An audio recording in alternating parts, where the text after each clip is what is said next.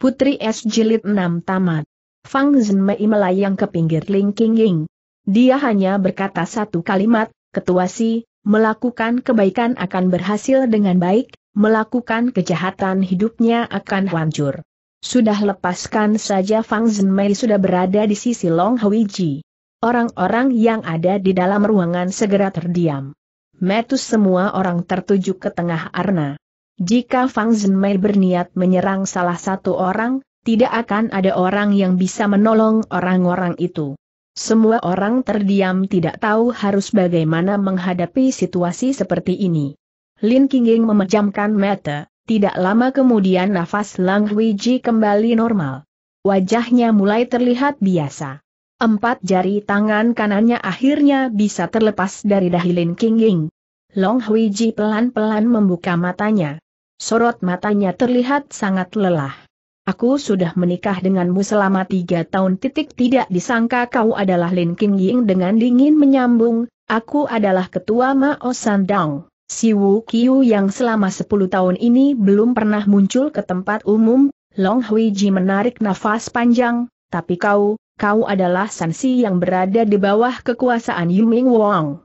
Sudah terkenal selama 20 tahun, Lin Qingying yang tidak lain bernama Si Wu Qiu berkata, 20 tahun yang lalu ayahku mendirikan Mao Sandong, dan yang terkenal adalah ayahku Si Fu BS 10 tahun yang lalu ayahku meninggal, akulah yang menggantikannya menjadi ketua.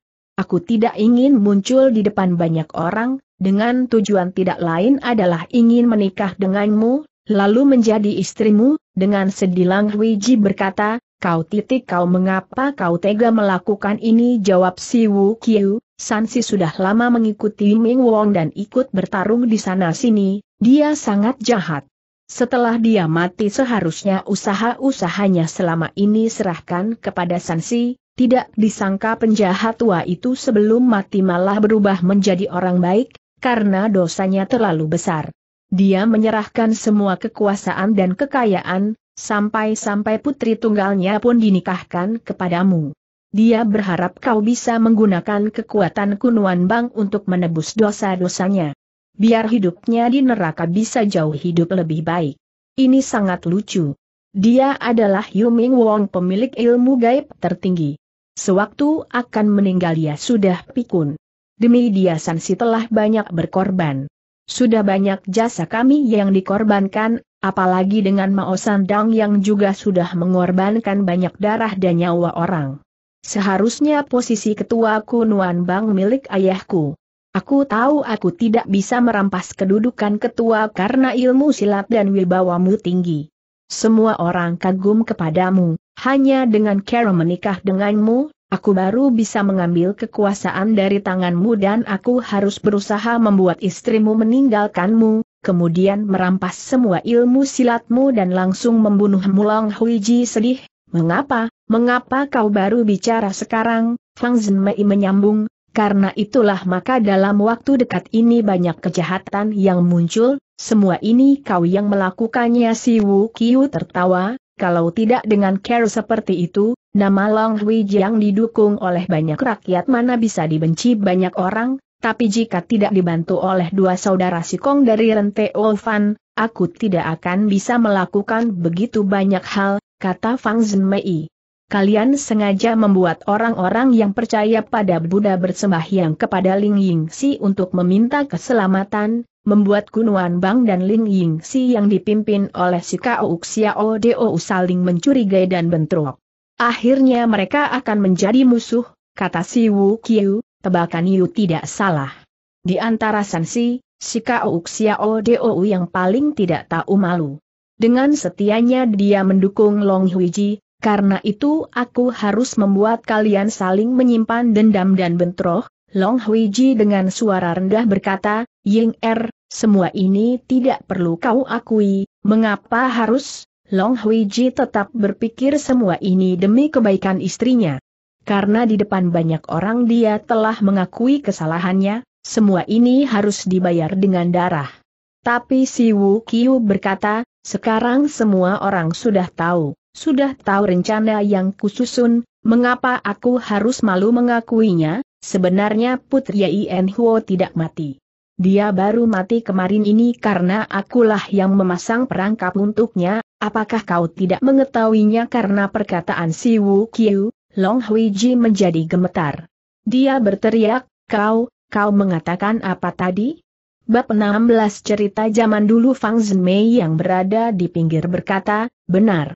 Kemarin sewaktu kami berada di sungai Yanbo, kami masih sempat bertemu dengan Putri Yen Huo. Tubuh Long Ji berbunyi dengan keras dan berkata, apakah benar?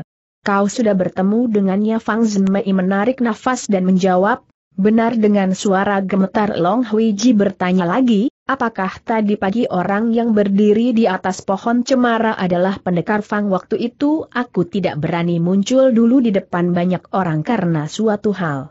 Kemudian aku dibantu oleh ketua Xiu memalsukan dirinya dan muncul di pesta ulang tahun Anda. Aku minta maaf kepada ketua Long, jelas Fang Zhenmei. Jangan berkata seperti itu. Hari ini jika tidak ada pendekar Fang aku pasti sudah mati sejak tadi, hanya saja mengapa pendekar Fang tidak menulis surat untuk memberitahukan semuanya pada kutanya Long Huiji. Aku tidak bisa muncul di depan banyak orang karena temanku. Waktu itu dia jatuh ke tangan istrimu, jawab Fang Zhenmei. Dengan dingin si Wu Qiu berkata, sekarang kau berani keluar di depan umum, si tua bangka itu apakah berhasil kau tolong Fang Zhenmei mengangguk. Wo Si Sui masih bernafas dengan terengah-engah. Dia dipapah oleh Xiu Zifu asli. Ternyata si tua bangka itu berhasil ditolongmu, kata Wo Si Sui. Dengan dingin si Wu Qiu berkata kepada Long Huiji, dia tidak berani menulis surat kepadamu. Walaupun Fang Zhenmei sangat pintar tapi dia tidak berani memastikan kalau aku adalah si Wu Qiu. Dan hari ini adalah hari ulang tahunmu. Jika memberitahumu kalau Putri Yen Hua baru saja meninggal kemarin, kau akan, Long Huiji sudah meloncat dan berkata, kau titik benar-benar kejam, dengan santai si Wu Qiu berkata, aku ingin menikah denganmu, ini bukan hal yang mudah sepuluh tahun yang lalu kau dan Patria Ien Huo saling jatuh cinta seperti ikan mendapat air. Siapa yang sanggup memisahkan kalian? Hanya aku, hanya aku yang bisa, karena aku adalah adik angkat Putri Ien Huo, Lin King Ying. Dia seperti kau, dia tidak tahu kalau aku adalah si Wu Qiu. Ilmu silat kalian berdua benar-benar di atas semua orang tapi kau sangat memperhatikan Kunuan Bang dan Putri Yen Huo sangat senang pada kesenian menari. Ilmu silatmu waktu itu berada di bawah Sansi, tapi Putri mendapat ilmu langsung dari Yuming Wong. Supaya kau bisa memiliki ilmu silat di atas semua orang dan bisa menjadi ketua Kunuan Bang, maka dia memasukkan ilmu Yin Sui Zenggong ke dalam badanmu yang telah didapatnya dari Yuming Wong. Dengan sedilang Ji berkata, tapi sewaktu dia memasukkan Yin Sui Zenggong ke dalam tubuhku, Allah, benar-benar tidak tahu. Si Wu Qiu tertawa sinis, itu sudah pasti, karena dengan kisah cinta kalian waktu itu, tidak mungkin mengorbankan kekasih untuk menambah kekuatan ilmu silatnya. Waktu itu ilmu Putri Yen Huo asli berasal dari Yuming Wong. Ilmunya pasti lebih tinggi darimu. Dia mempunyai seratus care agar kau tidak bisa menolak ilmu pemberiannya, ilmu silat yang kau latih adalah yang Huo Zenggong, begitu menerima ilmu dari Yen Sui Zenggong, maka kemampuan ilmu silatmu akan bertambah berkali-kali lipat. Ilmu silatmu bisa sama tingginya dengan Yuming Wong tapi ilmu silat Putri Yen Huo akan berkurang banyak, Long Huiji dengan sedih berkata, karena itulah, Aka mengira karena tenaganya habis, maka pada hari kedua dia langsung meninggal, si Wu Qiu tertawa dingin, sebenarnya semua ini adalah rencanaku, dia mewariskan seluruh tenaga dalamnya kepadamu, membuat ilmu silatmu menjadi tertinggi. Dulu aku tidak berani bertarung dengan kalian karena aku takut tidak akan bisa mengalahkan kalian. Walaupun ilmu tenaga dalam putri terkuras banyak, tapi dia melakukan berbagai macam jurus berdasarkan pada gerakan tarian. Aku tetap tidak akan bisa mengalahkannya. Satu-satunya care adalah dengan care memisahkan kalian berdua, aku tahu dia sudah memberimu Yin Sui Zenggong. Tenaganya telah berkurang banyak. Dia tidak akan bisa bersama-sama lagi dengan orang yang mempunyai tenaga YM dan yang dengan sempurna, keadaan itu adalah keadaan paling sempurna, jika tidak putri akan mati atau tenaga dalammu akan berkurang. Karena itu aku berkata kepadanya, untuk sementara waktu lebih baik putri berpisah dan bersembunyi dulu darimu.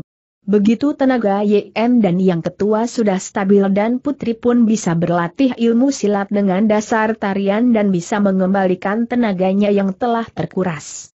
Saat itulah dia bisa berkumpul dengan ketua lagi, pertama kali saat Long Huiji mendengarkan cerita ini, dia bertanya, apa yang dikatakannya, Si Wu Kyu menjawab, dia? Dia mengatakan tidak. Tenaga dan ilmunya harus lima tahun baru bisa pulih kembali, saat itu aku mengatakan, jika putri tidak bisa berpisah dengan ketua untuk sementara waktu, tadinya niat putri bermaksud untuk membantu ketua menambah ilmunya, malah akan mencelakai dia, putri tampak berpikir-pikir. Matanya basah dan berkata lagi, benar. Jika aku terus bersama dengannya, dia pasti akan sangat baik kepadaku. Dalam waktu lima tahun dia bisa mengembalikan YIN dan yang ke dalam tubuhku atau, pokoknya tidak baik kalau aku terus bersama dengannya, aku sengaja berkata, kalau begitu lebih baik putri berpikir matang-matang dulu. Ada pepatah yang berbunyi, perpisahan tidak lama, seperti saat bulan madu. Anda sedang berlatih tarian silat, anda bisa terus berlatih lebih dalam lagi dan ketua bisa dengan sepenuh hati membangun kejayaan Kunuan Bang. Pada waktu itu aku terus meracuni pikirannya dengan kata-kata seperti itu. Long Huiji sangat marah dan berkata, kau, kau benar-benar perempuan siluman. Dan dia mendengarkan semua kata-katamu si Wu Kiu tertawa sinis, setelah mendengar kata-kataku, dia tampak berpikir lama kemudian dia berkata, Baiklah, kalau begitu aku tidak akan mengganggunya dulu. Biar dia benar-benar menguasai ilmu tinggi terlebih dulu. Aku melihat rencanaku ini pasti akan berhasil. Lalu aku menambahkan lagi, apalagi kalian hanya akan berpisah selama lima tahun, dari sini kita bisa melihat apakah Ketua Long benar-benar setia kepada Anda atau tidak dia segera setuju dan berkata, Ketua Long pasti akan setia, Waktu itu aku berpikir kalau aku membuat ketua Long tidak setia kepada putri, selama ini dia akan selalu mengira begitu dia lahir dia adalah seorang putri.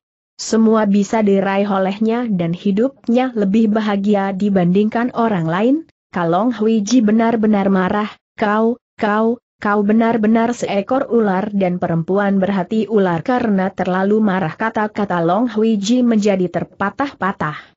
Si Wu Kiu tertawa, apa? Ular.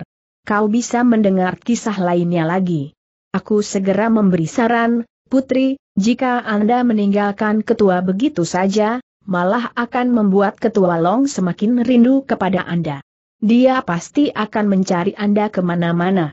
Ini malah akan mengganggu konsentrasinya. Putri tampak berpikir lalu dia pun berkata, benar juga. Kalau begitu Long Huiji akan menyia-nyiakan ilmunya begitu saja. Aku akan pergi ke tempat yang tidak dapat dicari olehnya, dia menarik tanganku dan bertanya, adik yang baik, apakah kau mempunyai ide lain karena itu aku segera memberi ide kepadanya, Long Huiji dengan marah berkata, karena itu kau menyuruhnya berpura-pura mati si Wu Kiu tertawa, aku menyuruhnya berpura-pura mati supaya hatimu juga ikut mati. Dia lama berpikir dan berkata lagi, tidak ada Caroline, hanya bisa dengan care seperti itu.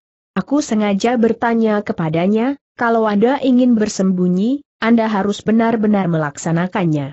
Jangan biarkan dia mengetahui di mana Anda bersembunyi, jika tidak semuanya akan sia-sia dia menjawab, itu sudah pasti. Tapi aku harus bersembunyi di mana aku menjawab, Mao Sandang adalah tempat milikku atau bisa juga dirente Olvan milik si Kong bersaudara. Semua orang pasti akan tunduk kepada putri, putri mengangguk.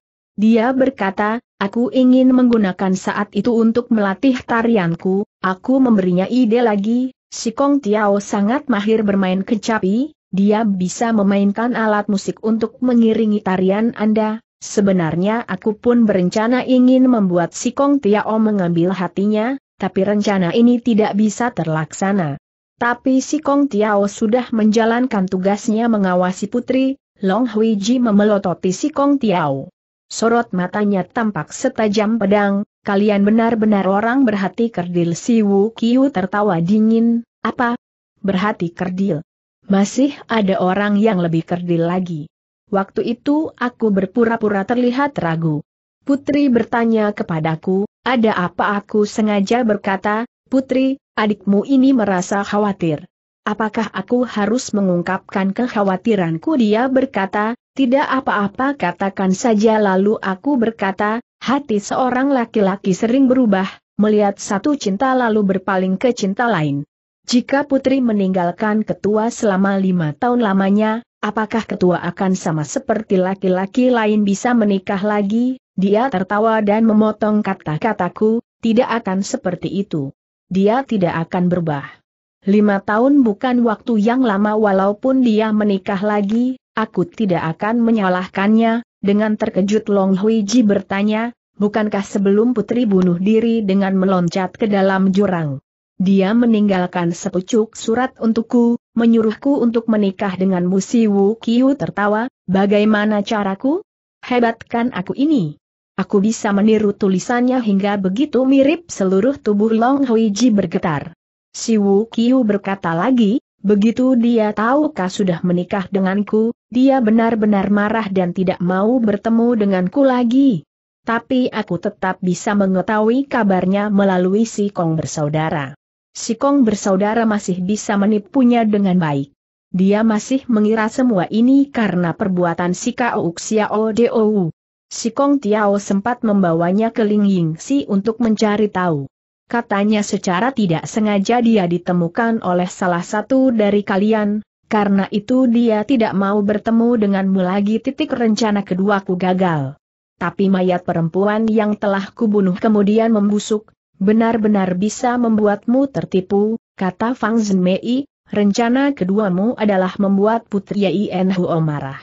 Kau ingin dia bertarung menggunakan tarian silat Yen Sui dan Yang Huo Zenggong. Tapi Putri Yen Huo sama sekali tidak mau membalas dendam kepada ketua. Dia hanya tenggelam dalam seni tari. Dengan tarian itu dia menghabiskan hidupnya yang kesepian, tiba-tiba Long Hui Ji menangis dan tangannya mengepal, dia, sekarang dia berada di mana? Dia ada di mana? Di mana dengari dingin si Wu Kiu berkata, apakah kau tidak mendengar perkataanku tadi?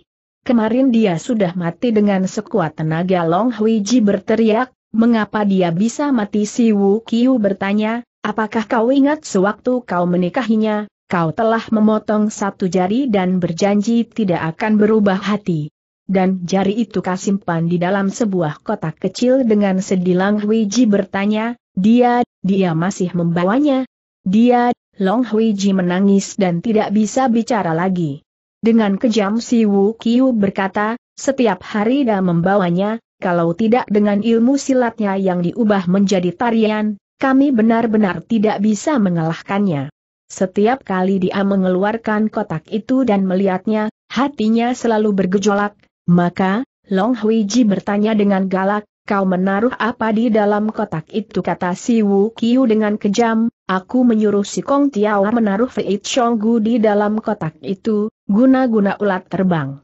Long Hui Ji mengerang, kau, mengapa kau bertindak begitu kejam? Mengapa harus titik harus membunuhnya dengan dingin si Wu Kiu menjawab, sebenarnya aku tidak terlalu ingin membunuhnya.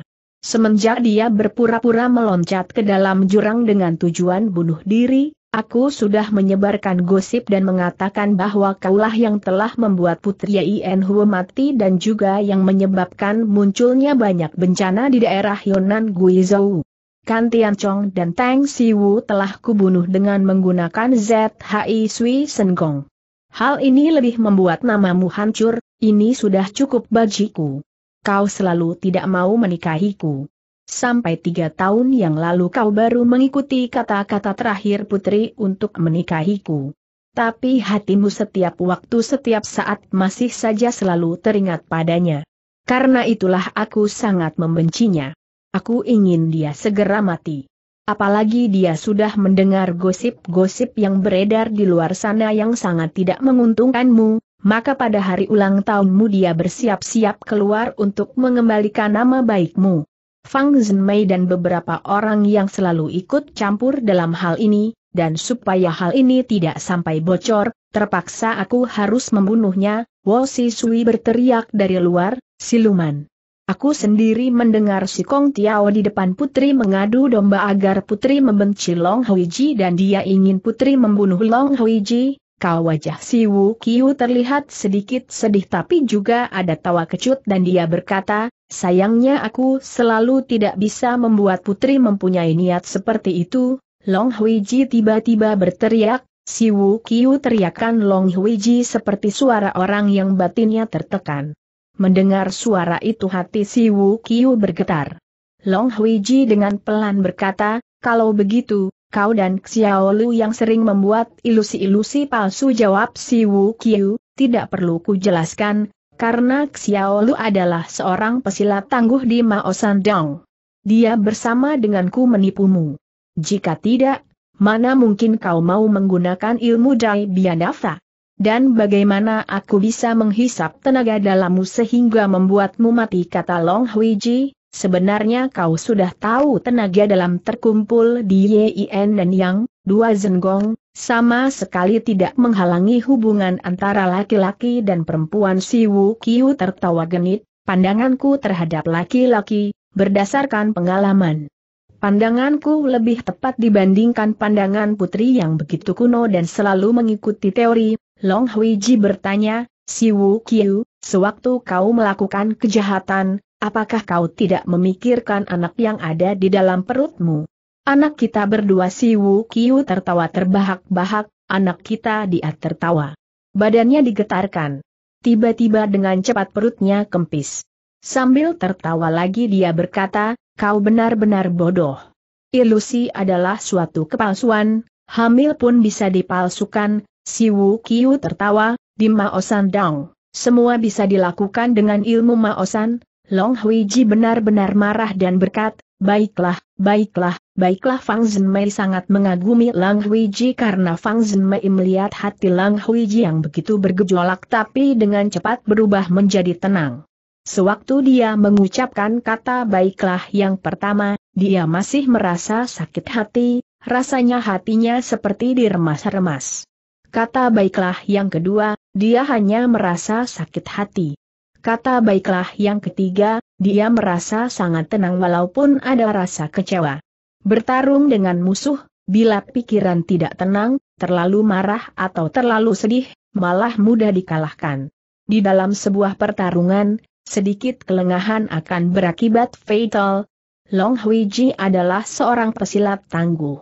Dia sangat mengerti akan hal seperti ini. Fang Zhenmei kagum padanya karena Fang Zhenmei tidak menyangka walaupun Long Huiji terpukul begitu berat tapi dia masih tetap bisa begitu tenang. Jika kejadian seperti ini menimpanya, belum tentu dia sanggup berbuat seperti Long Huiji, dia tidak tahu apa alasan yang membuat Long Huiji bisa terlihat begitu tenang. Karena Long Huiji sudah mengambil sebuah keputusan dia telah bersalah kepada Xue Chuking. Dia akan membayarnya dengan kematian. Tapi sebelum mati dia akan membunuh orang yang telah membuat dia dan Xue Chuking berpisah. Memisahkan mereka yang satu di dunia Yen dan yang satu di dunia Yang. Bab 17 Penentukan Hidup dan Mati Satu Naga Melawan Tiga Ulat Dengari Tenang Long Huiji berkata, ini lebih baik. Aku tidak perlu mengkhawatirkan apa-apa lagi, di dalam perut si Wu Qiu tidak ada anaknya, dia bisa bertarung dengan leluasa. Tiba-tiba Fang Zhenmei berkata, Ketua Si, apa yang ingin kau tanyakan tanya si Wu Qiu. Kata Fang Zhenmei, sebenarnya pada saat keadaan seperti itu dan Anda didukung penuh oleh si Kong bersaudara, Anda bisa bertarung habis-habisan dengan Ketua Long. Mengapa Anda harus membuka semua kebusukan Anda sendiri dan membuat ketua Long mati rasa sehingga muncul niat untuk membunuh si Wu melihat Fang Zhenmei dan berkata, kau benar-benar seorang Fang Zhenmei, Fang Zhenmei tertawa. Karena hari ini aku pasti menang. kalian tidak mempunyai kesempatan untuk menang, karena itu aku ingin sebelum lima mati kalian mengerti apa yang terjadi sebenarnya. Kemudian membawa penyesalan ini menuju kuburan kalian, Ye Pian Zhou marah, apakah hanya dengan mengandalkanmu dan si Kong bersaudara kalian bisa membunuh semua pendekar di sini Si Wu Kiu tertawa dingin dan berkata, jika hanya kami bertiga memang tidak akan bisa dan tidak mudah dilakukan, dia tertawa sambil melihat Xiaolu.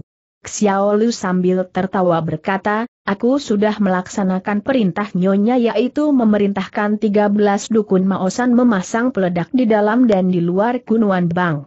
Peledak ini cukup untuk menghancurkan rumah besar ini dalam sekejap, si Kong Tiao menyambung, di dalam peledak sudah kusimpan racun hebat. Bila ada api menyala, racun akan segera menyebar luas. Tanah ini dalam waktu 10 tahun tidak akan ada yang bisa tumbuh, untuk semua jenis tumbuhan, apalagi bila ada orang yang berdiri di sini, semua orang terkejut dan langsung panik. Kata si Wu Qiu, sekarang yang ingin berpihak padaku, aku akan membebaskannya, Xiu Zifu marah, jika rumah ini meledak dan racun menyebar, bukankah kalian pun akan ikut terkena racun dan mati dengan santai si Wu Qiu berkata, paling-paling kita akan mati bersama. Tapi aku yang menabur racun ini dan pastinya kami sudah memakan dulu obat penawar yang kami buat, semua orang merasa takut. Setiap manusia hanya mempunyai satu nyawa. Siapa yang berani mempertaruhkan nyawa sendiri untuk hal seperti ini? Tiba-tiba terdengar suara perempuan lembut dan menarik nafas, dia berkata, Si Wu Qiu, mengapa kau melupakanku begitu melihat perempuan itu? Wajah Si Wu Qiu berubah dan berkata, Si Kau Xiao Deo Si Kau Xiao Deo menarik nafas, kau jangan melupakanku dan juga Yuling Sansi, Si Wu Qiu dengan marah berkata, kau, tiba-tiba bibirnya diruncingkan dan mengeluarkan siulan yang tajam. Siulan itu terus-menerus dibunyikan. Kali ini wajah Xiao Lu juga berubah. Si Kau Xiao Deo untuk ketiga kali menarik nafas. Dengan sedih dia berkata, apakah kau tidak merasa aneh mengapa 13 dukun Maosan tidak bereaksi apa-apa dia mengangkat tangan juga bahunya dan berkata lagi, karena Yuling Sansi sudah membereskan mereka kali ini giliran si Wu Qiu yang marah hingga tubuhnya gemetar. Dia menunjuk, si Kau Xiao Deo, kau, mengapa kau berseberangan denganku dengan santai si Kau Xiao Deo menjawab, keadilan ada di dalam hati setiap orang. Seumur hidupnya Yu Ming Wang selalu berbuat jahat.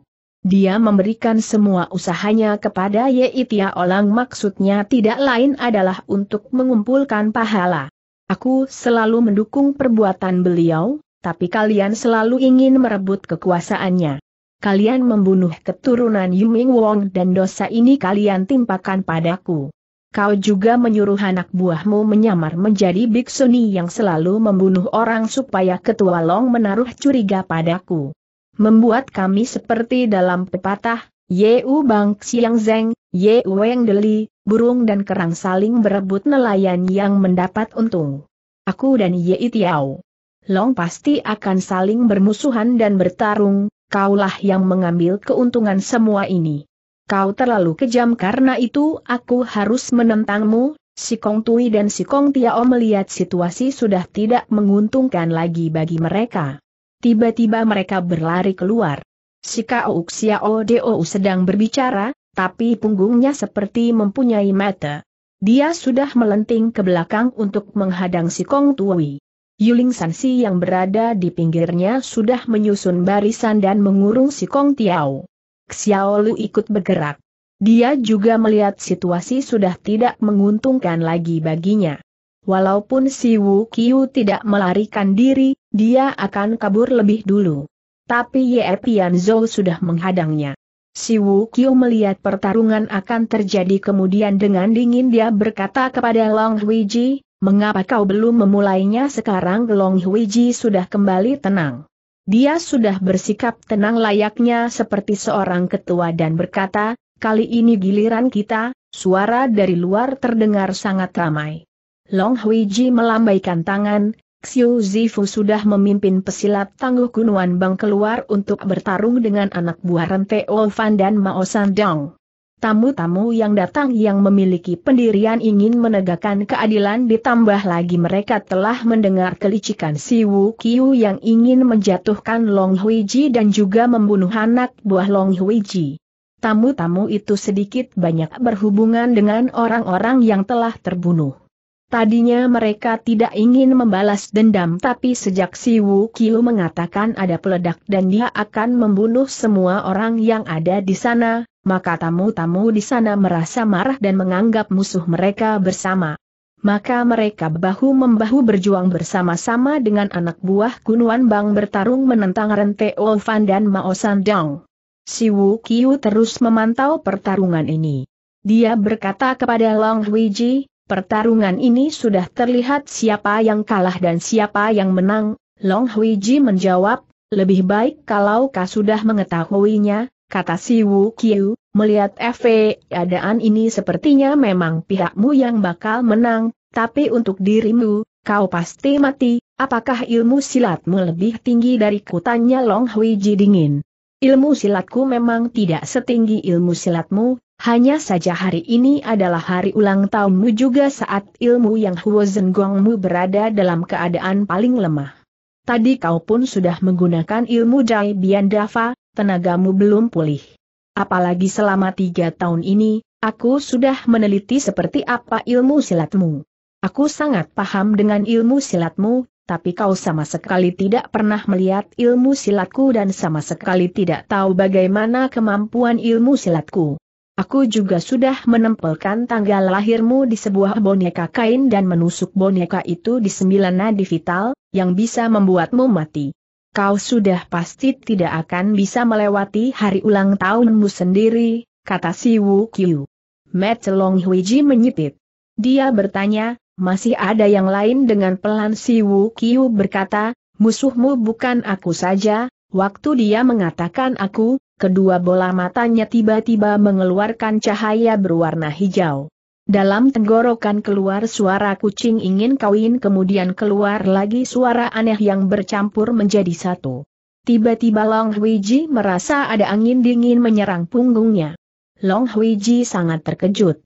Sebenarnya yang terkejut bukan hanya Long Huiji saja, Fang Zhenmei lebih terkejut lagi karena yang menyerang belakang Lang Huiji secara gila-gilaan bukan orang lain, melainkan Xia Oxue. Dan Fang Zhenmei sangat mengetahui kalau Xia Oxue sama sekali tidak bisa ilmu silat. Walaupun Fang Zhenmei merasa terkejut, tapi dia segera melayani Xia Oxue. Dengan menggunakan angin hangat dan liai, dia menangkis serangan Xia Oxue. Karena serangannya tidak mengenai sasaran, pisau belati berwarna hijau yang dipegang Xia Oxwei sudah berganti arah dan menyerang Fang Zhenmei dengan bertubi-tubi. Long Huiji tidak membalikan kepala untuk melihat tapi dia sudah merasakan ada aura membunuh di belakangnya tapi sudah ditarik ke arah lain. Hanya Fang Zhenmei seperti angin hangat, baru bisa berbuat seperti itu. Long Huiji tetap tidak bisa membalikan badannya karena dia tidak mau memberi kesempatan Si Wu Kyu untuk kabur. Gadis kecil ini sudah menerima tenaga dalam dari ketua si sewaktu melakukan Jai Bian Deva. Dicampur dengan tenaga gaib dari Maosan semua itu sudah masuk ke dalam otaknya. Karena itu dia bisa menguasai ilmu silat dan dia akan menjadi gila, jangan melukai dia seru Long Huiji. Fang Zhenmei tidak akan melukai Xia Oxue. Karena tidak berniat melukai Xia Oxue maka Fang Zhenmei merasa serba susah. Karena Xia Oxue masih dikuasai oleh Si Wu Qiu, dia menerima ilmu yang keluar dari Ien Sui dan yang Huo dari Long Huiji ditambah lagi ilmu gap dari Mao San. Xia Oxue sudah kehilangan rohnya. Rambutnya tergerai. Pisau belati terus mengejar dan menusuk ke arah Fang Zhenmei. Yang paling membuat Fang Zhenmei bingung adalah Xia Oxue belum pernah berlatih ilmu silat maka ilmu silatnya yang dilakukannya tidak menentu. Fang Zhenmei yang banyak pengalaman dan berilmu silat tinggi, tapi tetap tidak ada jurus yang bisa mengalahkan Xia Oxue. Karena Xia Oxue sudah dikuasai oleh ilmu gaib, tidak ada nadi yang bisa ditotok oleh Fang Zhenmei. Fang Zhenmei melihat sorot metuk Xiao Xue yang pudar serta mengeluarkan cahaya hijau. Pikiran Xiao Xue pasti telah dikuasai seseorang. Begitu mendengar kata-kata Long Huiji, dia merasa lebih jelas dengan keadaan yang sedang terjadi. Sambil menghindari serangan Xiao Xue, Fang Zhenmei berkata, Ketua Long, tangkap ketua si dulu. Xiao Xue baru bisa kembali normal, karena dia tidak mau melukai Xiao Xue maka dia pun selalu menghindar ke kiri dan ke kanan lalu dari kanan ke kiri.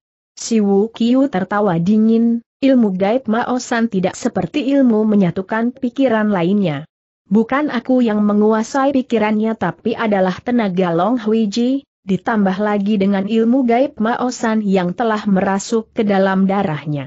Aku memilih ribuan kali baru bisa menentukannya karena dia sangat lugu. Begitu guna-guna itu masuk ke dalam otaknya, dia sulit untuk ditolong. Walaupun aku dibunuh, dia akan terus menyerang kalian seperti orang gila. Sampai dia mati baru dia akan berhenti. Kalian jangan bermimpi untuk menghentikanku, Long Huiji sudah tidak tahan lagi, dia mengerang dan menyerang. Begitu Long Huiji menyerang, Si Wu Qiu sudah terbang dari tempat di mana dia berdiri tadi. Serangan tenaga telapak Long Huiji berubah menjadi sebuah api. Si Wu Qiu baru saja terbang, Long Huiji sudah mencegat di tengah-tengah udara. Mereka saling beradu tangan. Long Huiji langsung merasa telapak tangannya gatal dan mati rasa. Dia tahu kalau dia telah terkena ilmu gaib Maosan. Long Huiji membentak dan meletakkan tangannya di atas api. Api berkobar begitu besar. Wajah si Wu Qiu yang tadinya terlihat senang sekarang sudah berubah. Di tangan Long Huiji dia meletakkan guna-guna. Karena tangannya dibakar di atas api oleh Long Huiji sampai terluka, Long Huiji jadi bisa lolos dari ilmu gaib ini. Si Wu Qiu marah dan menyerang Long Huiji seperti awan yang menggulung titik angin. Dia mendekat lagi. Kedua tangannya sekali lagi menyerang. Long Huiji membalikan tubuhnya. Dengan kedua tangan dia kembali menyerang. Mereka beradu telapak tangan lagi. Setelah beradu telapak, mereka tampak terpaku. Dari sela-sela jari Long Huiji, terlihat ada darah yang mengalir. Si Wu Qiu bersiul tajam. Baju yang menempel di tubuhnya tiba-tiba terbakar. Teriakan si Wu Qiu seperti lolongan serigala malam. Dia membuka mulut lebar-lebar tiba-tiba perutnya menggembung. Dia memuntahkan air coklat kental.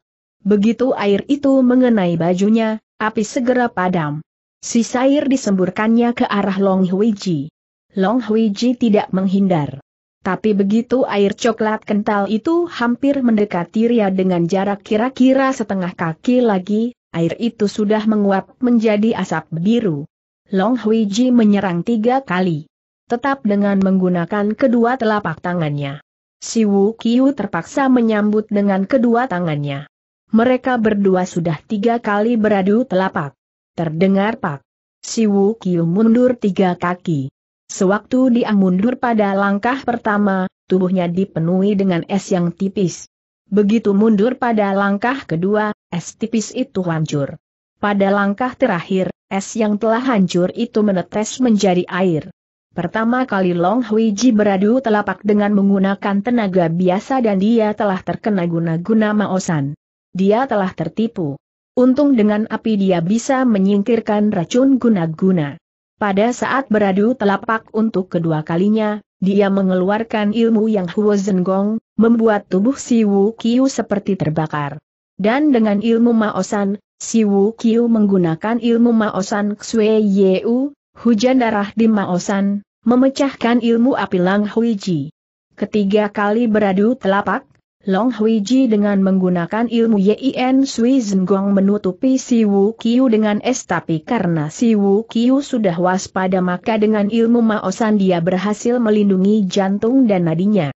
Dan dengan langkah aneh dia berhasil memecahkan es dingin itu. Begitu Long Huiji beradu telapak dengan si Wu Qiu sebanyak dua kali, wajahnya segera berubah dan berkata, kau, ZHI Sui, air berhenti. Si Wu Qiu tertawa aneh, benar. Dengan ilmu ZHI Sui aku telah membunuh banyak anak buahmu, termasuk Tang Siwu dan Kan Tian Chong. Kau pun, Long Hui Ji sudah membentak, baik tiba-tiba kedua tangannya sudah tertutup dengan es yang tebal. Dia memakai ilmu Yin Sui Zengong untuk melawan racun ZHI Sui yang terus merambat naik ke atas. Si Wu Qiu sama sekali tidak memberi kesempatan kepadanya untuk bernafas atau mengobati lukanya. Dia berteriak, kedua telapaknya dikeluarkan untuk keempat kalinya. Waktu itu, dia mendengar suara teriak kesakitan. Teriakan ini datang dari Xia Olu. Di perkumpulan Mao Sandang, Semenjak ketua lama yang bernama Sifu B.S. meninggal, kekuasaan Si Wu Qiu paling besar. Dia diangkat menjadi ketua. Orang yang dipercayainya dan yang paling dekat dengannya adalah Xia Olu. Yuannya adalah murid kesayangannya. Dia juga pengurus Mao Sandong. Pelaksananya terdiri dari tiga orang. Ketiga orang pelaksana itu adalah ketiga biksuni itu dan biksuni yang wajahnya seperti digores pisau adalah ketua mereka. Ilmu silat Xiao Lu sangat tinggi. Begitu juga dengan ilmu gaibnya. Hanya saja pada saat dia bertarung dengan Cai Mian Senying, perbedaan mereka sangat jauh. Perbedaannya adalah pada saat Ye Pian Zhou bertemu dengan Xiao Lu, dia terus menyerang. Tapi Xiao Lu begitu bertemu Ye Pian Zhou selalu ingin melarikan diri, perbedaan ini sangat besar. Xiao Lu terkena pukulan Ye Pian Zhou. Dia sengaja meminjam tenaga Ye Pian Zhou untuk jatuh ke tempat jauh dan mengambil kesempatan ini untuk melarikan diri.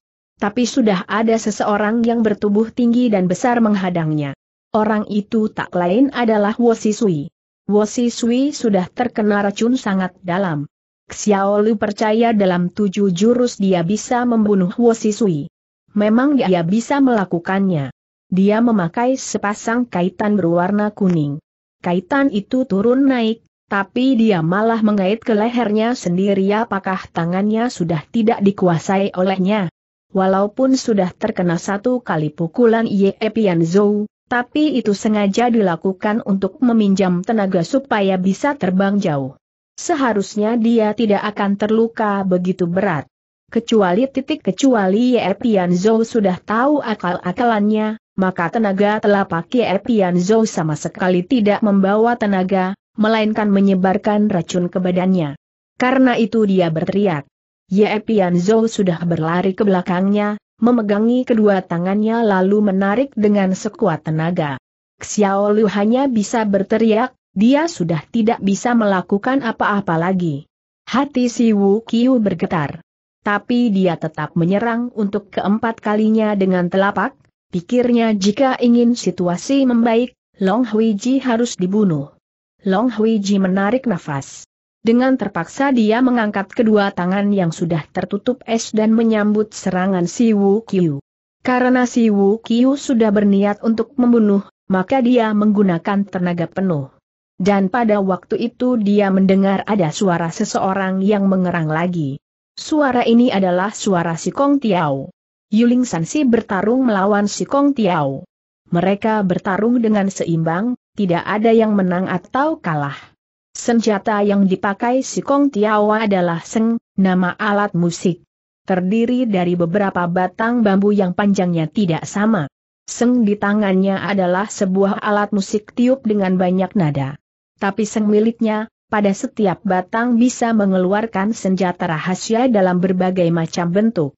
Ini yang disebut Fei Chonggu, guna-guna ulat terbang. Disebut juga Fei Jiang, guna-guna terbang. Yuling Sansi mengandalkan pikiran mereka untuk bersatu, lalu menguasai pikiran si Kong Tiao, membuat pikirannya terganggu. Di antara Yuling Sansi sudah ada yang menyerangnya, membuat si Kong Tiao meloncat ke kiri dan meloncat ke kanan. Benar-benar memalukan, rambutnya tergerai berantakan, rambut hitamnya terus menyapu, menahan serangan. Menahan serangan seperti ular kobra. Setiap kali meniup Feit Chonggu membuat Yuling Sansi sulit menahan dan mereka kerepotan lalu mundur atau setidaknya menahan. Karena itu walaupun si Kong Tiao hanya sendiri melawan 30 orang, tapi dia bisa mengimbangi mereka dengan tenaga pas-pasan. Si Kong Tiao berpikiran seperti Xiao Lu, hanya ada satu pikiran melarikan diri. Demi hidup mereka berniat melarikan diri, itu adalah hal yang wajar. Apalagi si Kong Tiao melihat situasi sangat tidak menguntungkan baginya. Empat pembunuh rente Olfan, yaitu Huo Yuan Ya, Zhang Hensou, Ye Mai, dan Mei Mai semua sudah mati dan tiga pelaksana serta ketua pelaksananya juga sudah mati. Karena dalam kurun waktu dekat ini Kunuan Bang selalu mengalami kegagalan maka itu timbul perasaan untuk membalas dendam. Mereka bertarung dengan semangat, apalagi dibantu oleh para pendekar. Walaupun pihak Rente Olvan dan Mao Sandang menang, tapi kelak mereka juga akan kesulitan untuk tetap berdiri di dunia persilatan Yunnan dan Guizhou. Karena itu semangat mereka untuk menang seperti lenyap. Yang terlihat dari mereka hanya bayangan kekalahan. Dua belah pihak bertarung, jika salah satu pihak sudah tidak mempunyai semangat juang. Pihak itu pasti akan kalah. Si Kong Tiao melihat situasi menjadi seperti itu. Dia hanya berpikir bisa kabur. Karena ingin kabur, maka hatinya menjadi tidak tenang. Yuling Sansi melihat keadaan ini. Mereka bersama-sama mengeluarkan nafas kemudian mengeluarkan suara. Pedang dikeluarkan untuk menyerang. Sebenarnya Yuling Sansi kebanyakan hanya diam berdiri. Dengan konsentrasi penuh mereka bersatu untuk menguasai pikiran si Kong Tiao, kemudian beberapa orang menyerang. Tapi semua ini selalu ditangkis oleh Fei Chonggu, si Kong Tiao.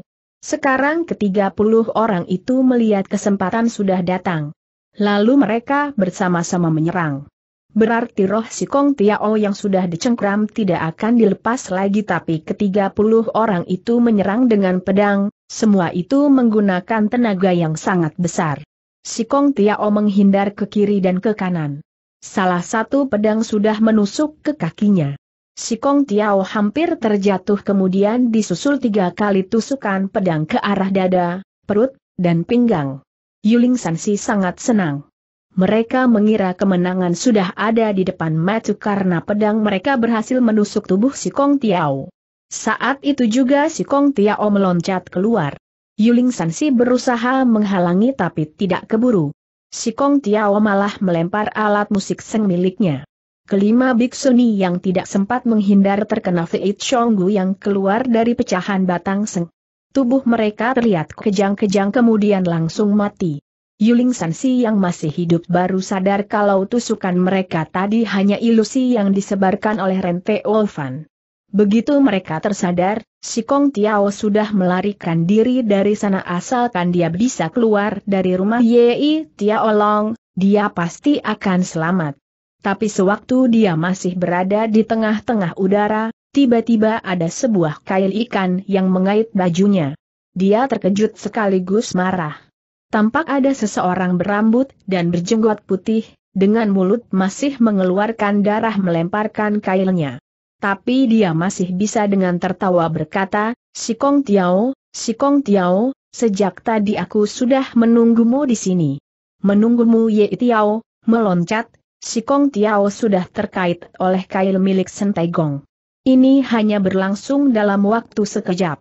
Belum sempat dia menggunakan ilusi rente Olvan, tujuh orang dari Yuling Sansi sudah datang menghampirinya. Belum sempat dia memakai ilmu gaib, tujuh pedang sudah ada di depan matanya, lima pedang kali ini benar-benar menusuknya. Kecuali hanya berteriak kesakitan, apa yang bisa dilakukan oleh si Kong Tiao saat itu. Bab 18 dengan kematian membalas budi istri begitu mendengar teriakan si Kong Tiao, hati si Wu Kiu bergetar, tapi kedua tangannya tetap menyerang Long Huiji, dia harus membunuh Long Huiji.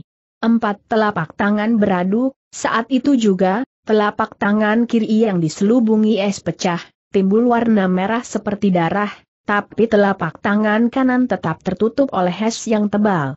Si Wu Qiu sudah menyerang lagi dan dia melayang. Tubuh si Wu Qiu yang sedang melayang bagian kiri tubuhnya membeku menjadi es tapi tubuh bagian kanannya ada api yang berkobar. Si Wu Qiu melayang ke belakang sejauh 10 meter lebih, lalu jatuh terbanting ke bawah, dia berguling-guling sambil berteriak, suaranya terdengar serak dan mengerang kesakitan, kau titik kau, menggunakan titik Daibian titik Davasi Wu Kiu mengira di hari ulang tahun Long Huiji, tenaganya akan terkuras habis, apalagi tadi dia sudah memperagakan ilmu Daibian Dava, sebagian tenaga dalamnya sudah terhisap oleh si Wu Qiu.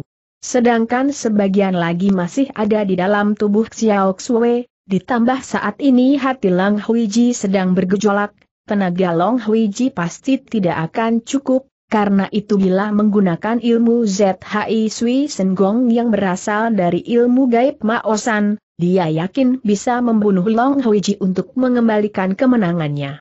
Dia sama sekali tidak menyangka kalau kejadiannya malah akan menjadi seperti ini, Long Huiji ternyata masih bisa menggunakan ilmu Jai Bian Dava. Jai Bian Dava adalah suatu ilmu yang sangat menguras tenaga, tapi ilmu ini pun adalah suatu ilmu yang bisa menolong orang, bukan sebagai ilmu pembunuh. Long Huiji dalam waktu singkat membuat Dai Biandava terkumpul di kedua telapaknya dan menolong dirinya sendiri yang sudah terkena ZHI Sui Senggong. Dia mengubah telapak tangan kirinya menjadi Yang Hao dan telapak kanannya menjadi Yin Sui. Kedua ilmu ini dipergunakan terbalik, dia menyambut telapak tangan si Wu Kiu lagi. Air dan api saling beradu. Walaupun ZHI Sui Senggong milik Si Wu Qiu sangat kejam, tapi dia tidak bisa bertahan menghadapi Dai Bian Dava milik Long Huiji. Karena ilmu itu berhasil dipecahkan, separuh tubuh Si Wu Qiu menjadi es dan sepanahnya lagi terbakar. Dia terus memberontak, akhirnya dia masuk ke dalam kobaran api yang semakin membesar. Hanya dalam waktu singkat dia sudah terbakar menjadi arang dan abu tubuh bagian kanannya hangus, tapi tubuh bagian kirinya masih tertutup oleh es Fang Zhenmei yang menyaksikan ilmu silat orang di daerah itu sangat aneh, dia merasa takjub dan terkejut. Xiao Xue masih terus menyerangnya, bila Xiao Xue berhenti sebentar Fang Zhenmei bisa menemukan cara membuat Xiao Xue tersadar. Tapi sejak awal hingga sekarang, Xiao Xue belum pernah berhenti menyerangnya.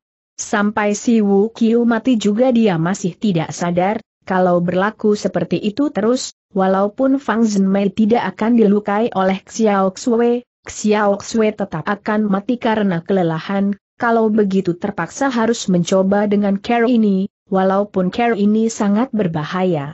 Dalam hati Fang Zhenmei sudah mengambil suatu keputusan.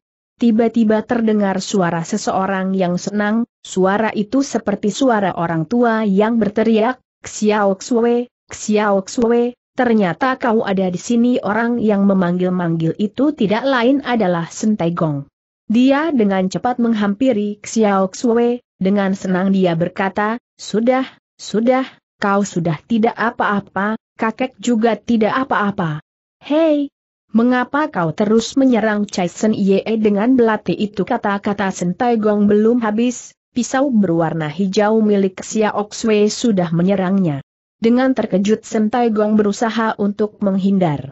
Karena lukanya belum sembuh, dan perasaannya sedang bergejolak hampir saja dia tidak berhasil menghindari serangan Xiao Xue, dia berteriak, Xiao Xue, kenapa kau ini, tapi Xia Oksue bertingkah seperti orang gila masih terus menyerang mereka berdua. Sambil menghindar, Sentai Gong berusaha merebut pisau yang ada di tangan Xia Oksue, tapi selalu didorong oleh Xia Oksue dengan tenaga besar. Long Huiji yang ada di sisi hanya bisa menarik nafas dan berkata, sekarang dia sedang berusaha menguasai Yang Huo, Yin Sui, dan ZHI Sui, Ketiga ilmu ini bila sudah dikuasai dia tidak akan bisa menguasai sendiri lagi, tenaganya sangat besar, jangan dekati dia bicara sampai di sana, Long Huiji langsung memuntahkan darah, dalam satu hari dia telah dua kali memperagakan Jai Biandava, dan itu dilakukan pada hari ulang tahunnya. Dan hari itulah hari di mana tenaga dalamnya paling kosong, dia telah melakukan ilmu dengan menggunakan tenaga Yin Sui dan Yang Huo. Kedua tenaga dalam ini dikeluarkannya untuk membunuh si Wu Qiu. Ditambah lagi perasaannya sedang bergejolak dan racun ZHI Sui Senggong telah melukainya, tenaga dalamnya sebanyak 70-80% telah terkuras habis. Melihat Xiao Xue menjadi seperti itu, dia tidak bisa melakukan apa pun untuk menolong Xiao Xue. Sentai Gong terus memegang pundak Fang Zhenmei dan berteriak, kau, jekau jangan menyerangnya, jangan sampai membuatnya terluka, Xiao Xue sudah menusuk Sentai Gong, pundaknya dikebelakangkan untuk menepis tangan Xiao Xue tapi karena tenaga Xiao Xue sangat besar, maka Sentai Gong terjatuh. Xiao Xue menggigit rambut hitamnya dan wajahnya pucat, dia menusuk Sentai Gong yang sedang terduduk di bawah. Sentai Gong berteriak, Xiao Xue, Xiao Xue seperti tersadar, Sentai Gong berteriak lagi, aku adalah kakek, Waktu itu dengan diiringi suara tarikan nafas, Fang Zhenmei langsung bergerak. Jarinya menekan ke tengah alis Xiao Xue, Sentai Gong bergetar melihat perbuatan Fang Zhenmei. Xiao Xue berhenti bergerak, benar-benar telah berhenti, Fang Zhenmei sama sekali tidak tahu apa yang telah terjadi, apakah karena dia berhasil menekan alis Xiao Xue atau karena hal lain? Terdengar suara bush, api menyala, Ternyata para pesilat tangguh dari Kunuan Bang mulai bertarung dengan sengit, di medan pertempuran mereka menyalakan api, terlihat anak buah Kunuan Bang, di dalam kobaran api sangat gagah berani. Yang terluka dan tenaga mereka yang tidak cukup, langsung mendekati api itu untuk meminjam kekuatan api. Semangat mereka segera pulih, semangat mereka kembali seperti naga dan harimau, mereka menyerang kembali orang-orang Ganteo Fan dan Mao Sandong. Ilmu gaib Kunuan Bang berdasarkan pada api, api sedang berkobar, semangat anak buah Kunuan Bang sangat tinggi. Apalagi kemenangan sudah di depan mata.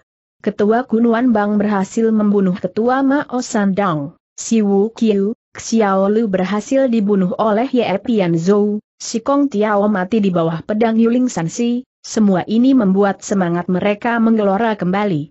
Melihat keadaan ini si Kong Tui bersiap-siap melarikan diri. Ilmu silatnya dengan kemampuan ilmu silat si Kao Xiao Deo seimbang. Di depan si Kao Xiao Deo jika ingin melarikan diri bukan suatu hal mudah. Si Kong Tui, namanya memang Tui, mundur, bagaimana kemajuan ilmu silatnya, kita tidak akan tahu, tapi ilmu Tui, mundur, miliknya benar-benar nomor satu. Tiba-tiba dia memutar tubuhnya, dengan pedang panjang berwarna hijau, dia memenggal kepalanya sendiri. Sejak awal sampai akhir dia bertarung dengan si Kao Xiao Dou, si Kao Xiao Dou tidak berani melihat matanya, saat itu si Kong Tui pun tidak berani melihat mata si Kao Xiao Dou, karena si Kao Xiao Dou menguasai dengan baik ilmu hipnotis, dan si Kong Tui pun menguasai ilmu guna-guna mata. Sorot mati mereka masing-masing tidak bisa melumpuhkan lawannya. Tiba-tiba si Kong Tui tampak sedikit bergerak, begitu dilihat oleh si Kao Xiao Dou, ternyata si Kong Tui menjadi manusia tanpa kepala, dan kepala si Kong Tui terbang ke arahnya. Waktu itu si Kao Xiao Dou tidak tahu apakah kepala si Kong Tui harus disambut atau dibiarkan saja, Terpaksa dengan kemocengnya dia menepis, begitu mengenai kepala itu, dia merasa kelima jarinya bergetar, bersamaan dengan itu ada lima ekor cacing dingin dari ujung jari masuk ke dalam nadinya. Dengan cepat si Kao Xiao membuang kemocengnya dan dia pun segera mengatur nafas, menahan racun supaya tidak menyebar lebih luas ke dalam tubuhnya. Tangan kirinya mencabut pedang, sekaligus memotong tangan kanannya. Si Kong Tui tertawa terbahak-bahak, dengan suara besar si Kao Xiao Deo bertanya, apakah itu racun kepala manusia ternyata kepala si Kong Tui masih dengan baik menempel di tubuhnya, tadi semua itu hanya ilmu ilusi, dengan cepat si Kong Tui memenggal kepala seorang anak buah Rente Olfan yang ada di belakangnya dan dengan cepat dia membubuhkan racun di kepala itu. Dengan kepala orang itu dia membuat orang yang berilmu silat tinggi seperti si Kao Xiao Dou terkena racun. Si Kao Xiao Dou tampak marah, kau memang tidak salah disebut Bihuok Swejian Rente Olgu, api hijau, pedang darah, guna-guna kepala orang.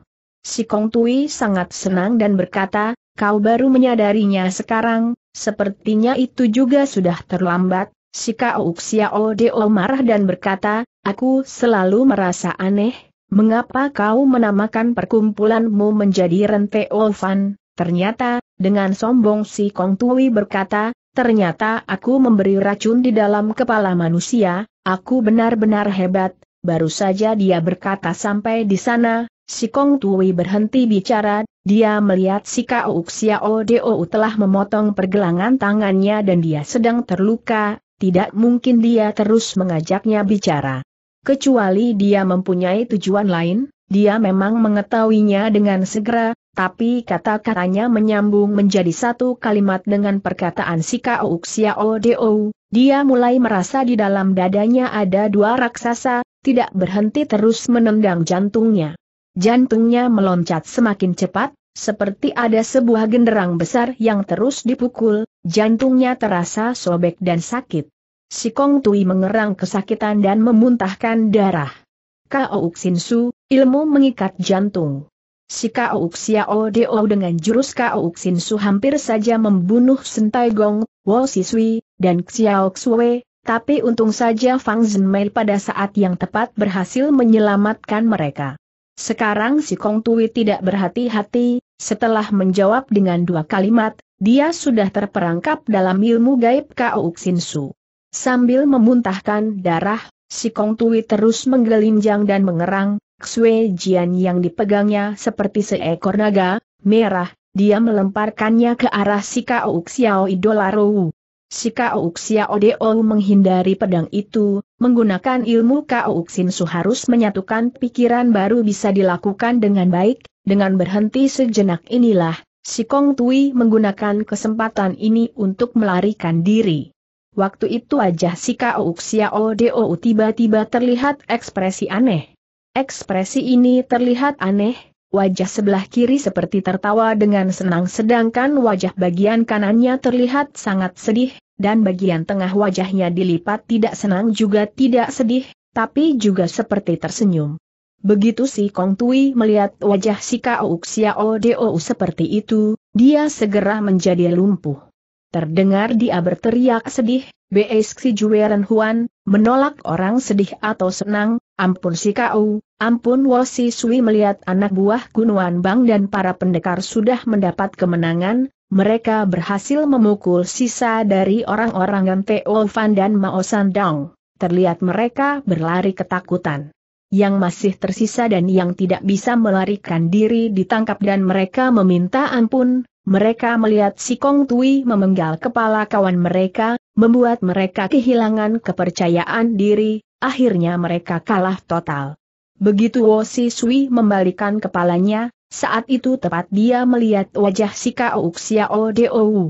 Kebiasaan Wo Si Sui adalah bila sudah melihat sesuatu dia akan langsung berkomentar, kali ini dia melihat Sentai Gong tidak mengalami sesuatu yang berbahaya, hatinya merasa senang, pada saat melihat wajah si Kau Xiao Deo, dia segera berteriak, pantas aku selalu merasa pernah bertemu denganmu, ternyata kau adalah Jiseng Niang Niang, dewa yang kalian sembah adalah kau sendiri waktu itu di malam hari saat dia masuk ke dalam Ling Yinc, dia pernah melihat patung Jiseng Niang Niang, sebelah wajahnya terlihat senang, setengah wajah lagi terlihat sedih, Kemudian dia bertemu dengan si Kau Xiao Deo, dia merasa pernah bertemu dengannya tapi entah di mana, hal ini terus-menerus menjadi pikirannya. Sekarang dia baru sadar kalau patung itu adalah perwujudan dari si Kau Xiao Deo. Ternyata dia tidak tahu kalau Yuling Sansi adalah perkumpulan berdasarkan ilmu gaib. Perkumpulan ini biasanya dengan patung wujudnya sendiri dijadikan sebagai pujaan mereka. Tapi sekarang adalah saat yang paling menegangkan, si Kau Xiao Deo mengeluarkan ilmu gaibnya, begitu Wo Si Sui berteriak, si Kau Xiao Deo terlihat seperti sakit berat dan lemah hingga akhirnya dia amruk ke tanah, ilmu gaib Biye Si Jueran Huan sudah tidak bisa dikeluarkan lagi.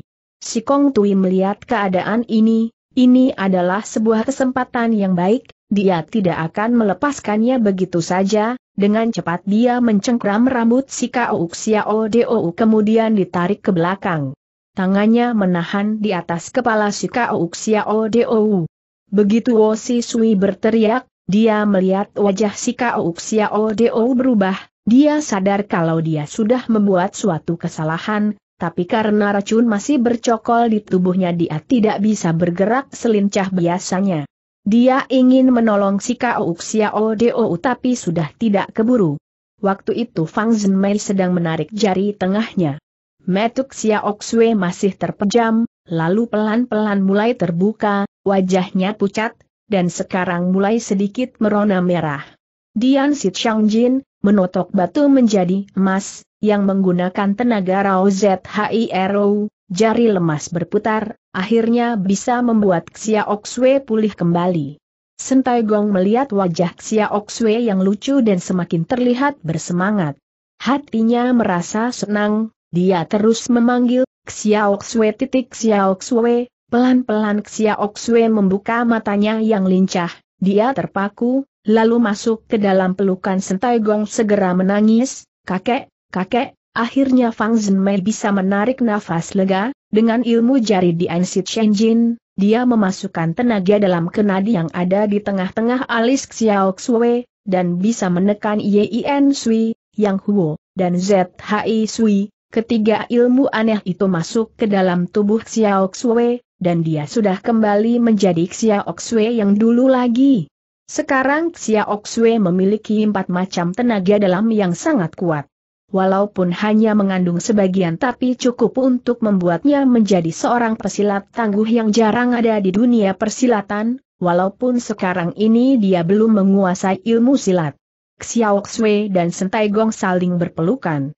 Si Kong Tui yang masih ada di sana berhasil mengalahkan si Kao Xiao Dou, dan dia terus membentak orang yang mendekat, kalau kalian mendekat lagi, aku akan membunuhnya Long Huiji berkata, semua mundur terpaksa mereka semua mundur. Si Kong Tui bernafas terengah-engah dan berkata, baik. Hei Marga Long, sansi kami, yang bermarga si Kong sudah kalah total, yang bermarga si pun sudah mati, yang tersisa hanya yang bermarga si Kau, apakah dia akan bertahan hidup? Hanya tinggal menunggu satu kata darimu tanya Long Huiji, Kau ingin mengatakan apa dengan marah? Si Kong Tui berkata, di daerah Yunnan dan Guizhou, satu katamu berharga satu keping uang emas, asalkan kau menyuruh mereka tidak menghalangiku pergi, mereka tidak akan berani melanggar perintahmu, kata Long Huiji, baiklah, aku akan melepaskanmu, tapi lepaskan dulu si Kau Xiao. Deo si Kong Tui berkata, Ketua Long, turunkan dulu perintahmu untuk orang-orang di sini, setelah itu baru aku akan melepaskannya kata Long Hwiji. Si Kau Xiao Deo sudah lama berkorban untuk daerah ini, sekarang demi menegakkan kebenaran dia mendapatkan malapetaka, dia pun sangat berjasa bagi perkumpulan kami, aku, Long Hwiji percaya, kalau si Kong Tui akan melepaskan si Kau Xiao Deo, saudara-saudara Dimnan dan Guizhou pasti akan memberikan jalan keluar untukmu, hal yang terjadi hari ini tidak bisa ku tentukan sendiri, semua tetua yang ada di sini, bagaimana pendapat kalian? Semua pendekar yang ada di sana saling pandang. Kemudian sebagian pendekar yang mempunyai sedikit wibawa berkata, kami selalu berada di pihak ketua Long, ada yang berkata lagi, kalau Ketua Long memerintahkan untuk melepaskannya, kami tidak akan berani menentang perintah Ketua Long. Long Huijah memutar tubuhnya melihat si Kong Tui dan berkata, apakah kau sudah mendengar perkataan teman-teman dunia persilatan Yunnan dan Guizhou dengan dingin si Kong Tui melihat mereka dan berkata, tapi di sini pun ada teman-teman yang bukan berasal dari Yunnan dan Guizhou, tanya Long Huiji, Mengapa tidakkah sendiri yang menanyakannya kepada mereka? Si Kong Tui membalikan kepalanya dan bertanya kepada Fang Zhenmei, temanmu sudah terkena racun yang sangat dalam. Si Wu Qiu sudah mati, sekarang hanya aku yang bisa menolongnya, kalau kau berkata akan melepaskanku, temanmu tidak akan berani menghalangiku, aku sudah memberimu obat penawar dua kali untuk kedua temanmu, kali ini kau, kau harus membiarkanku pergi, Wo Si Sui berteriak, jangan mau diancam Fang Zhenmei terdiam, dia menjulurkan tangannya. Wosi Sui berteriak lagi, jangan mau diancam olehnya, aku lebih memilih, si Kong Tui takut kalau Fang Zhenmei berubah pikiran, satu tangannya memegang si Kao Xiao Deo, dan satu tangannya memberikan obat penawarnya kepada Fang Zhenmei. Waktu itu jari si Kong Tui menyenggol jari tengah Fang Zhenmei, dia seperti tersambar petir, terpental hingga 9 meter jauh Turia. Dan dia jatuh dengan posisi telungkup di tanah, hanya dalam waktu singkat dia sudah dikelilingi oleh para pesilat tangguh yang masih marah. Tubuh si Kong Tui seperti tidak bertulang, bahkan tenaga untuk melawan pun sudah tidak ada. Dengan kaget dia berkata, kau, kau, kau, Fang Zhenmei memberikan obat penawarnya kepada Wo Siswi, benar saja obat itu sangat manjur. Fang Zhenmei mendekat dan berkata, kau tetap akan dilepaskan, karena ketua sudah menyetujuinya, aku hanya ingin memberitahumu, kami tidak biasa menyetujui sesuatu di bawah ancaman, kemudian Fang Zhenmei berkata lagi, pergilah kau sekarang dengan sikap malu si Kong Tui berdiri, Wo Si Sui berjalan ke depannya, dan mengatakan satu kalimat, kau sudah terluka parah, LCNG Huiji dan kakak Fang sudah mengatakan akan melepaskanmu, karena itu aku tidak akan membunuhmu, tapi aku pernah berjanji kepada Putri Yen Huo, aku tidak akan melepaskan orang yang telah mencelakai beliau, si Wu Qiu sudah mati, si Kong Tiawa pun sudah mati, hanya tersisa dirimu, pergi kau sekarang. Walaupun kau lari hingga ke pelosok negeri mana pun, aku tetap akan mengejar untuk membunuhmu dan mayatmu akan kubawa untuk disembahyangkan pada Putri Yen Huo yang ada di Nirwana, Si Kong Tui dengan terkejut bertanya, kau dan Putri Titik mempunyai hubungan apa? Dengan suara lantang Wo Si Sui berkata, kami tidak ada hubungan apa pun, tapi di dunia ini mana ada orang seperti aku ini. Aku hanya pernah bertemu dua kali dengan Putri, satu kali saat beliau sedang menari, kedua kali adalah pada saat dia sedang bertarung, Wo Si Sui berkata lagi, bagiku, Bertemu dua kali saja sudah cukup, si Kong Tui tampak menundukkan kepala. Tiba-tiba terdengar ada suara sesuatu yang berbunyi, semua orang melihat ke arah sumber suara itu. Terlihat di dada Long Huiji menancap sebuah pisau milik si Wu Qiu yang diberikan kepada Xiao Xue.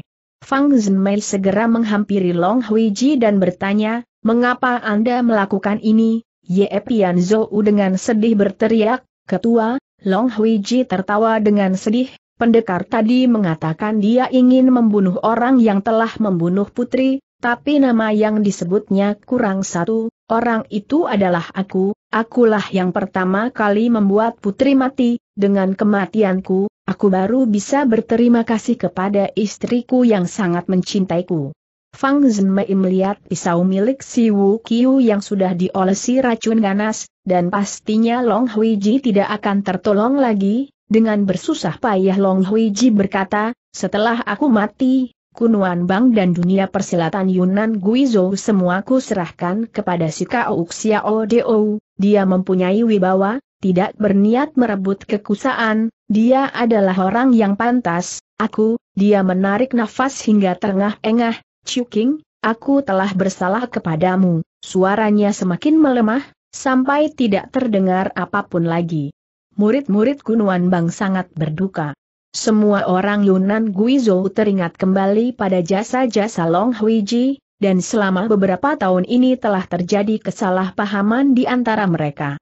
Mereka merasa menyesal dan turut berduka cita. Tapi si Kong Tui mengambil kesempatan ini. Dia melarikan diri. Sewaktu Xiao Xue masih dikuasai oleh Si Wu Qiu, dia terlihat linglung, dia tidak tahu apa yang telah terjadi. Sekarang keadaannya sudah pulih, begitu melihat banyak orang meli dia merasa kaget hingga terpaku Fang Zhen MM melihatnya seperti itu, dia berkata pada Sentai Gong, pertarungan berdarah di dunia persilatan dan kejamnya dunia persilatan ini, lebih baik jangan mengotori hati seorang anak kecil yang masih suci dan lugu. Tamat.